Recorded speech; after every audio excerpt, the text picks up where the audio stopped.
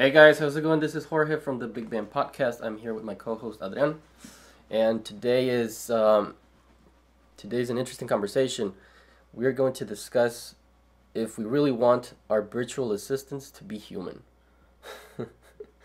um, now, the there's an in, there's interesting things going on in the world of voice recognition and AI currently. As of this morning, I don't know if you know this. There's the creators of Siri, the the you know the the assistant from Apple. Yes, of course. Um, so what so what happened was they sold Siri to Apple, and then they you know went off and did something else. And basically, what they created is this thing called Viv, which is the next version of Siri. Biff? Viv, like Vivian. Oh, okay. Um, and they just showed it off or did a demo this morning, um, showing off her capability. Basically, it's frictionless AI. What frictionless? What's that? You basic the the thing understands what you're saying and then goes goes ahead and does it. So it goes beyond the task the task um, intent of something like Siri, So it's, where it's like question answer and then it tells Yeah. you an answer. Yeah. This I mean, if you tell it, hey, listen, I, am I'm flying to um, I don't know, I'm flying to Colorado tomorrow. Find me a uh, a, a ticket less for less than a hundred bucks and uh, you know time of day and all that stuff. You give it everything, and the thing goes and does it for you, Without- you having to input like your credit card, anything. It does it for you, everything. That's kind of like their most, uh, you know, high level and tactful example that they have. So that's basically what it is. Oh, and it talks too. um, so it's like a companion. yeah. Um, it's weird, but it's it's it's really awesome because it goes beyond, um, you know, kind of like the question answer that Siri does, Yeah, because you, or the or the anticipation that um, Google Now does, uh, when it you know it shows you information and whatnot. It doesn't talk to you, but it shows you information in your devices. It goes beyond the Alexa, which is more like a. It doesn't speak to you um, unless you speak to it. Um, it goes beyond you know any other Cortana, which is also like an assistant. Goes beyond any of that. This thing's like, like really really capable now. Um, of course, it's not as smart as we like Jarvis from from Iron Man. hey, you were selling it like that. Well, it sounds like it. Yeah, I know. but I, I think that you know Jarvis Jarvis for all these all these companies is I think the end game. Um, that's the end game. Uh, but we're we're still ways before that even happens. But you know, at this point right now, we're at the point where we do a lot of these a lot of stuff with these with these things, with these assistants, and um, I think our expectations are that these things should should should you know you know regarding the marketing from from the companies is that these things are almost like us, uh, but that's we're we're not nowhere near that. Um, but um, I think I digress from from the topic a little bit, but I had to mention the Viv example because it just it just happened this morning. Um, so who knows what's gonna happen? I mean, we had we had planned this episode since last week. We did not know about the the Viv the Viv demo. um, I know about Viv before, but I didn't I didn't know they were gonna do a demo. But um, I think that changes a little bit of the topic. But um, the point the point being is that do we do we really want to do we really want to talk to something that sounds like us? I mean, it's, it's like the logical step. It's like, do we want something to sound robotic? No. Uh, I, I think it's gonna. There's gonna be a voice pack. Robotic It has to- there has to be one. there- There's gonna be people who are at be least for at least for as the as a gimmicky example. Yeah, yeah, yeah. for gimmicks purposes, um, I think that's that's gonna happen, because right now it's mostly just the voice of a of a woman, um, but um, you know it's it's it's really it's really weird because um, I don't have an Alexa, but I have I have a Siri and I have the, the Google Now thing in Cortana. What, what's the Alexa? Alexa is from from Apple, from from uh, I'm, I'm sorry, uh, Amazon. The Echo, the, the Echo device, the one that's like a speaker that sits in, in around you in your living room, somewhere in your home. You just position it and then you talk to it. and You say, hey, hey Alexa, um, you know, send me an Uber, whatever, and the freaking thing does it, or you know, uh, ask me for some for some eggs and some some some milk and, uh, and you know Amazon delivers it. You know stuff like that. But it's all basically um, you know like that. You know it's kind of like task based stuff. Oh and Alexa will tell jokes to you and stuff like that. So it almost has you know it also has that gimmicky side but for the most part it's you know it's just like that. I mean just you're not talking to it because the thing starts talking to you you talk to it when you want to talk to it And that's the end and game, that's right? and that's where it is. But the end game is like Jarvis. the thing talks to you, you know, as if it were somebody else, and you respond to it, and you know all this stuff that goes on. but we're nowhere near that. I think it's more like all of these guys are, you know, playing different roles and how that's going to play out. But uh, the Viv, the Viv thing is, I think, is going to push it forward, uh, simply because it's it eliminates a lot of, a lot of the other ones. um, that's it's it's really really incredible. Um, personally, do I want to be talking to something other than something that sounds like a robot? Yes. Um, I think it's weird to talk to something that, you know, you you you get that it, you get that it understands you, but you know that not everything's going to be understood. Um, and then you have to kind of clarify to it that you know this is what I want. But it's gonna be learning, right? It's gonna ask you, "Hey, what's that mean?" Or, "I don't understand." yeah, I don't understand. Blah I blah can't blah. comply. Yeah, something like that. But um, I I think I think I think it's weird also for for other people in the in the in the in the in the sense that you know and you know this there's a lot of people still don't don't use technology um, the simple fact that you put a computer in front of them is like oh my god i want to mess it up hmm now imagine if you bring this thing to them and say, you know, just talk to it. I mean, talk to the freaking thing. How are people gonna feel about that? Like, what's gonna happen? I mean, I don't. I mean, I've never. I mean, I never looked this up on YouTube, but now it's, I think it's a good example to look up people who've never used Siri for the people who've used Siri for the first time. hmm Like people who'd never owned a smartphone before, and this is the, fir- the first smartphone they get, and it has Siri on it. Like they gotta talk to it. What the fuck? What's their reaction to it? Like, like what the f? you know? yeah, I mean it's it's it's weird. It's weird. Yeah, You saw that video that I sent you? a little bit. It's like 13 minutes long. Yeah. But um, it talks about all these things um, in aggregate. You know, all these companies with their different um, virtual assistants, and um, you know, it's weird. It's really weird still to the point where um, it's not it's not completely there where, where we should should want it, but you can see that pe- some people you know are kind of like a give and take Mhm. with the whole thing. Um, but um,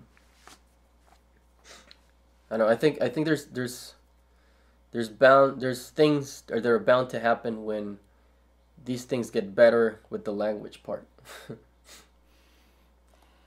I mean, it's it's a topic that is discussed in a lot of uh, futuristic either movies or anime.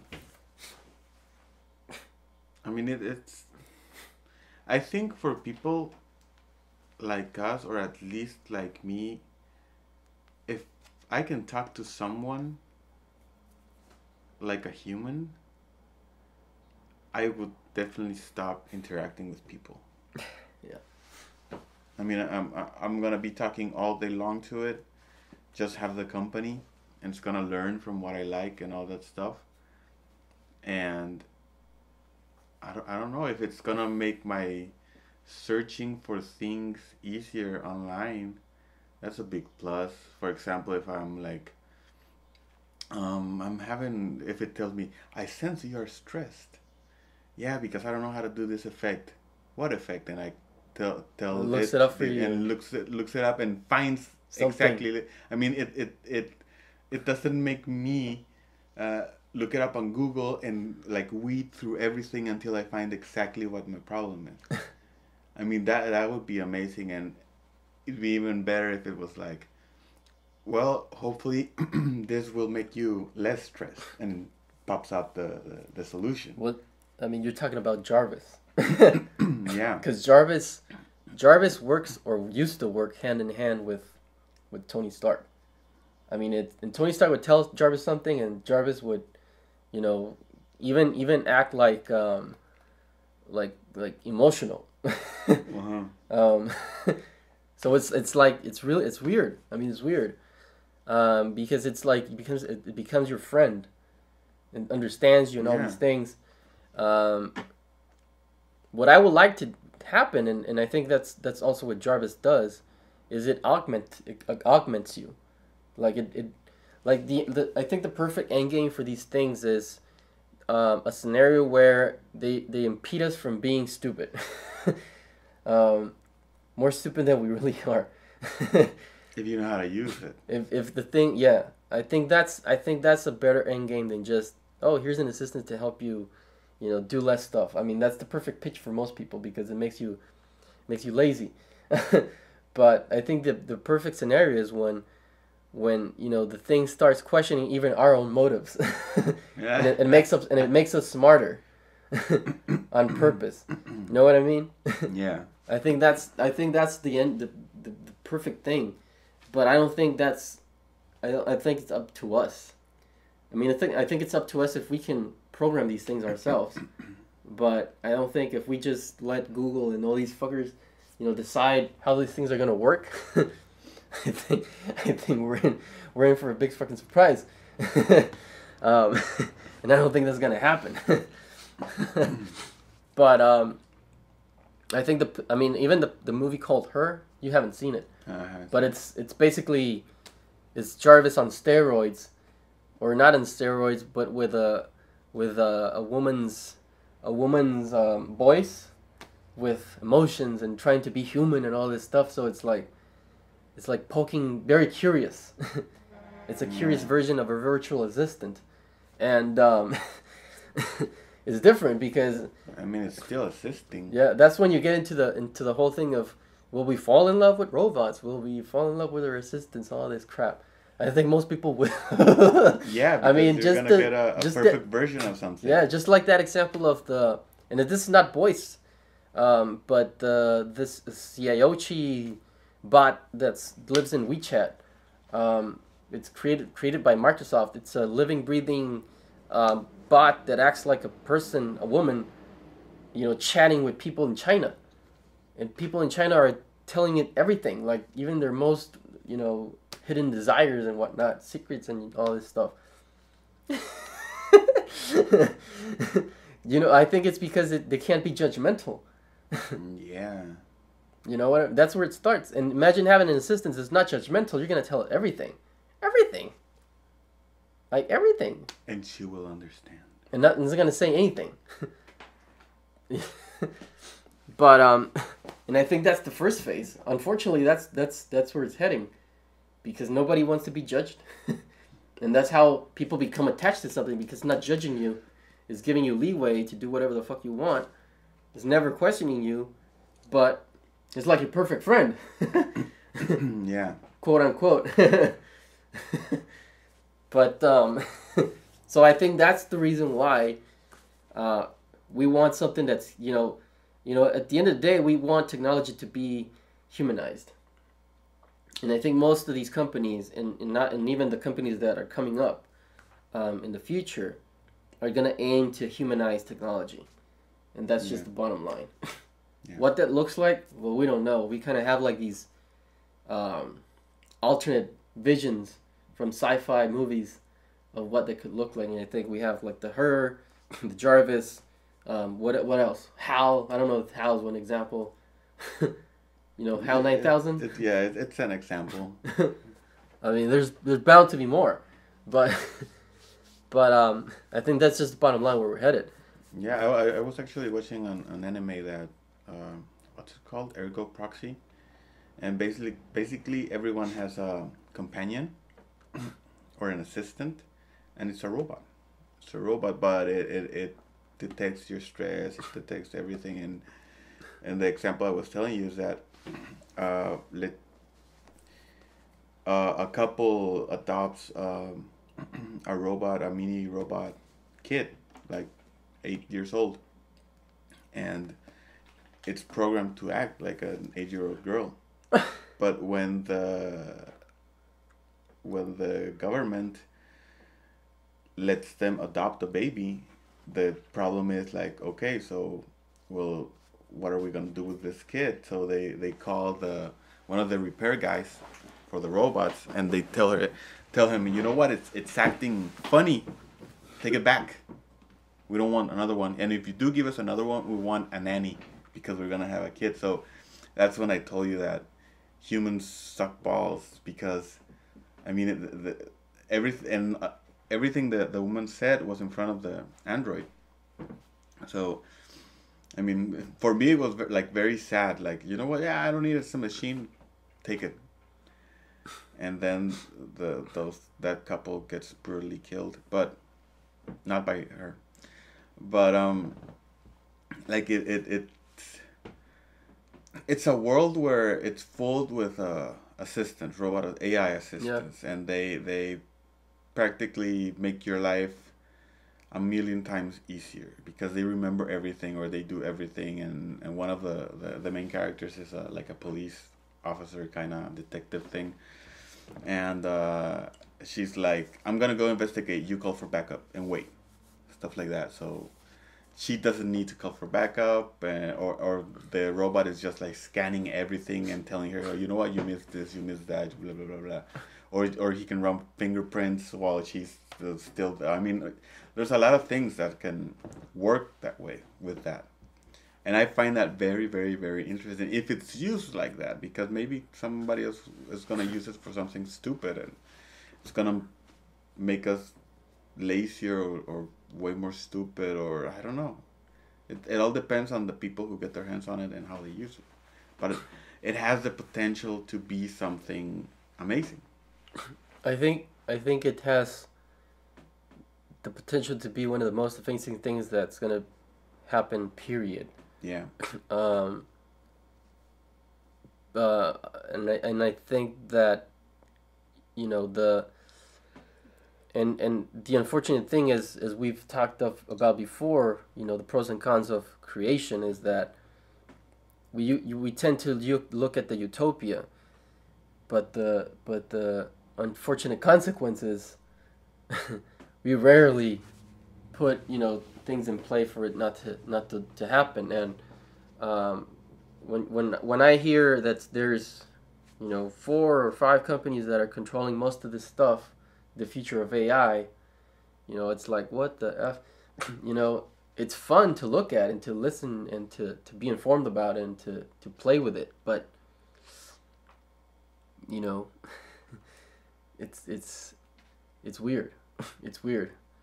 It's weird to imagine that you know these companies are deciding the role of these things in our lives, and um, I, I look look. Uh, the simple fact of the matter is that most people are addicted to their smartphones already.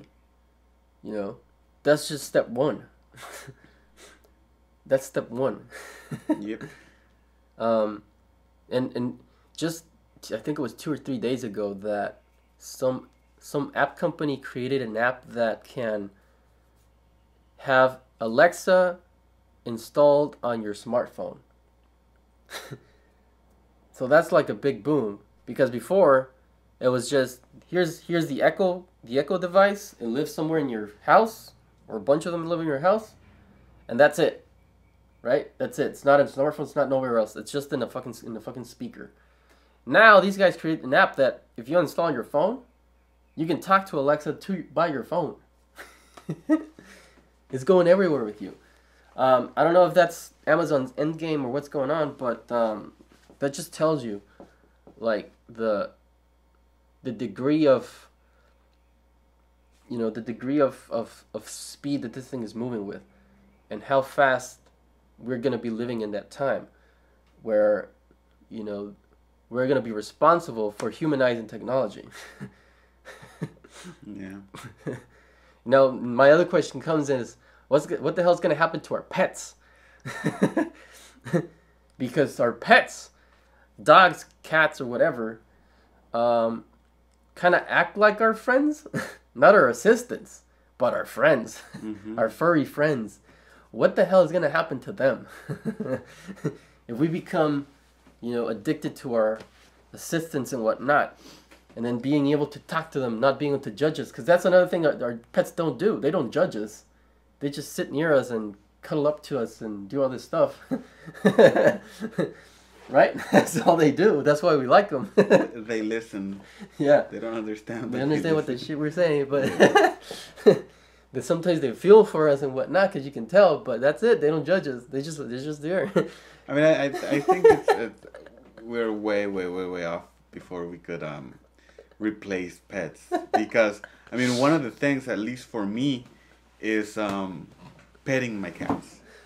I mean, like each one has different uh, kinds of uh, fur, and um, yeah, I mean, it, some of them are like fluffier.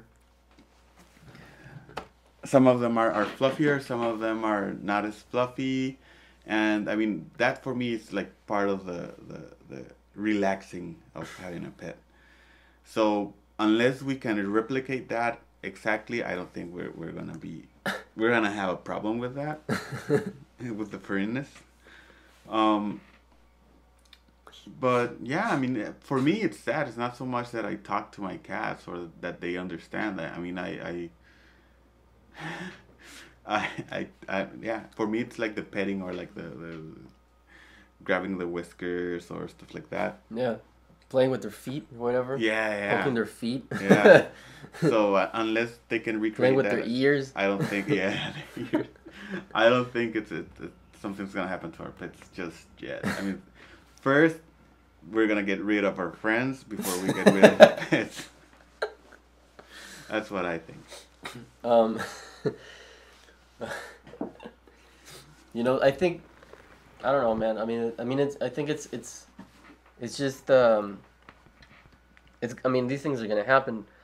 The the question it really is is how do we want them to happen? I mean, what version of that future do we want? Um, and and to me, it's not really up to us. It's up to all these companies that are controlling it, and um, whether they have the best intention in mind, I don't know. Uh, remember that? Um, oh no, it wasn't you. You weren't on that podcast on that episode. Th- oh yeah, it was it was Ivan when we talked about the ethics of AI. yeah. we, we talked about you know, are we creating, um, you know, are we programming AI in our own image? So basically, are we are we just copying ourselves to AI? Well, us with our stupidness and our biases and our all everything, you know, everything that comes, all the messiness about being human. Hopefully not. That's that's what we don't want. Yeah, let them learn from exactly zero, be, from be, scratch. Not, I, I remember I said I said in that episode, I said right at the end, the perfect scenario is one, it's very utopian, but it's basically where they are better than us, not us better than them. In yeah. the moment where they become better than us, we don't want to, you know, eliminate them because they are, you know, now they are, you know, forcing us to become better, better people. Um, I think that's the the better, the better end game. But whether or not that's going to happen, I don't think it's up to us. I mean, it's up to us to de- to decide but right now, I feel as though we're not in control. um, Eventually, we will be. I mean, when well, they hopefully. when they start, I think when they're when they start making, let's say a robot, we're gonna call them robot. When they start making robots that you can buy as an assistant or chef or whatever, and obviously the companies are gonna have control over them. They're gonna lock certain things that might make them become self-aware or learn things that they shouldn't but i know there's going to be somebody out there who's going to buy one and who's going to hack it yeah. and, and he's to let it learn everything it needs to learn and maybe it's to start something um, chaotic or catastrophic or maybe it's to start something amazing yeah. But we don't know and and I mean, I don't know if I should think like this, but I think we should open those floodgates? Well, there's, you know, Elon Musk. Elon Musk. Yeah. Um, y Combinator and a bunch of other people put together created this group called OpenAI, and uh, the last I heard was that more than a handful of people from you know both Microsoft, Apple, Amazon, uh, Google, Facebook, the ones that are kind of controlling AI right at this point, or or it's you know, you know the way it's moving, how Mhm. fast it's moving, they jumped ship and went over to OpenAI to to work with this co- with this group, which basically, what they're trying to do is, um, advocate for a more open conversation about this stuff, and how it's gonna affect us in the future. Um, and they're putting their own money to to uh, operating this thing, so they're self funding it. Um, what it means is that they're trying to protect us from ourselves. that's that's the bottom line. That's what they're trying to do, and um, whether whether that's gonna work or not, we don't know. We don't know. Um, it, I- I think it's gonna be. Um, are the odds in our favor that the robots won't wanna kill us? Well, that's one us? question.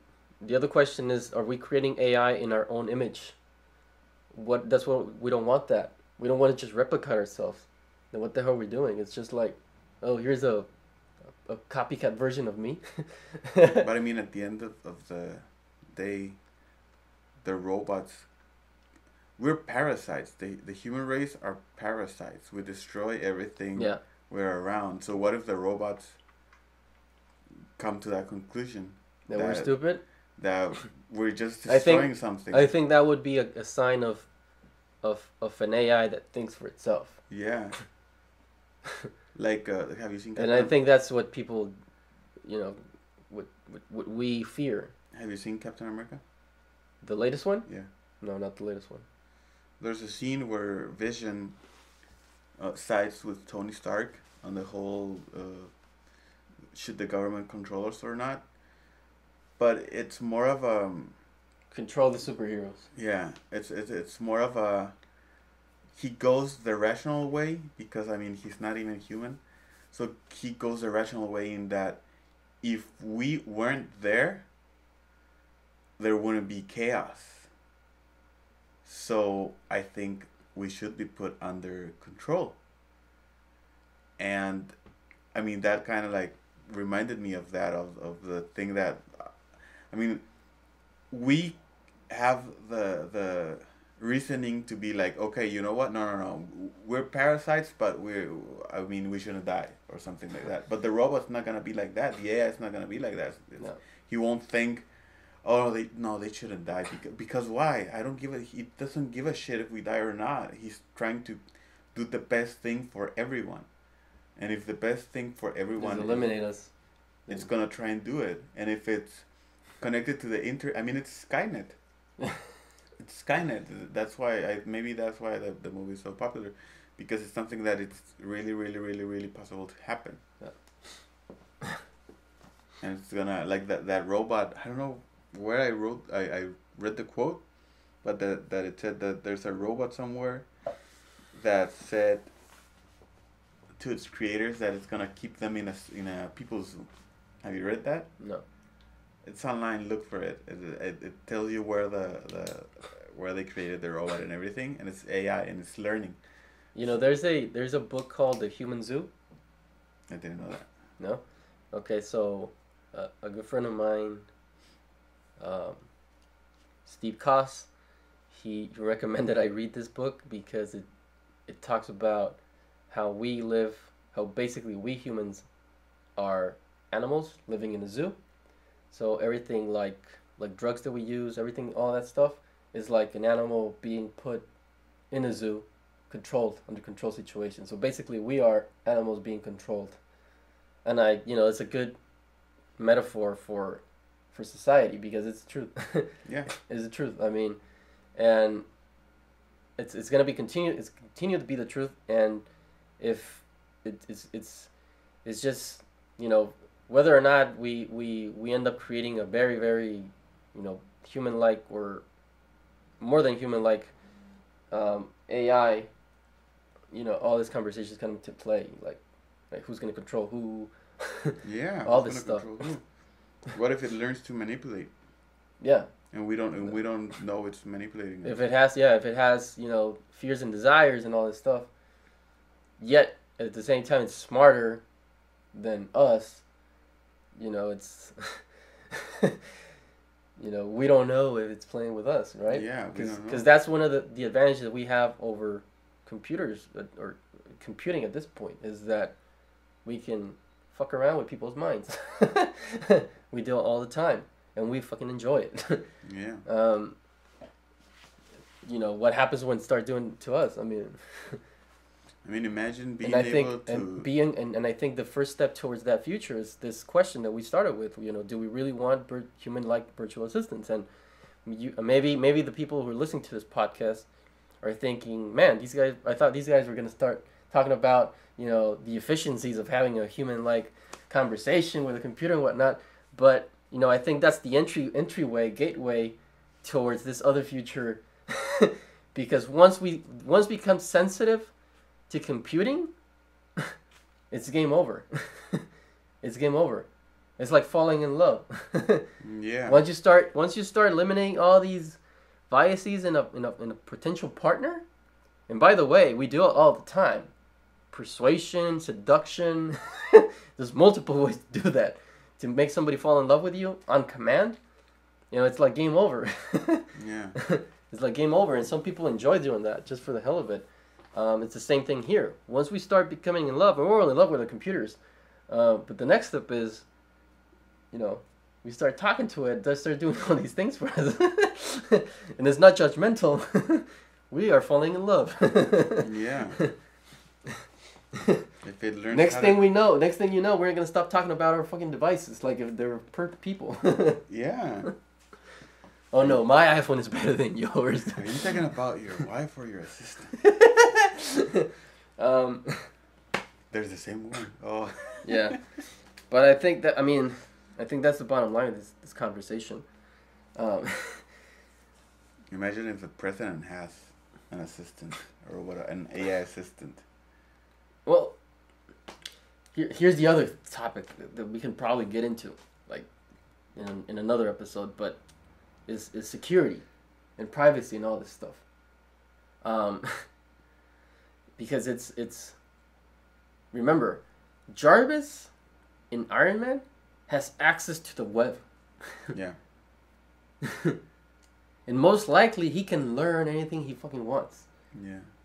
Like like the Matrix. Even faster than freaking Matrix. Right? So what's stopping one of these things to hack whatever the fuck they want?